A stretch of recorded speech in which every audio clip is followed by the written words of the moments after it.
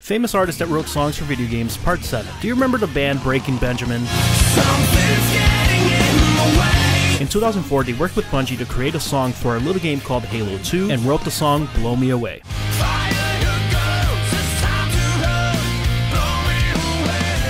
There aren't really any explicit references to Halo 2 in the song, but it's still very much structured like a battle song and can be used as a rallying cry of sorts for Halo 2. In 2021, 16 years after the original release of the song, it went certified platinum, making it one of the most successful songs created for a game specifically ever. And this isn't the only artist collaboration on this Halo 2 soundtrack. Incubus also wrote four original songs for the soundtrack, Hoobastank wrote another, of course Halo fans and metalheads don't need me to remind them, but three-time Grammy winner Steve Vai was on the Mjolnir mix of the Halo theme, and if all of that wasn't enough, the entire soundtrack was produced by none other than Nile Rodgers. For you young bloods, he's the guitarist on Get Lucky.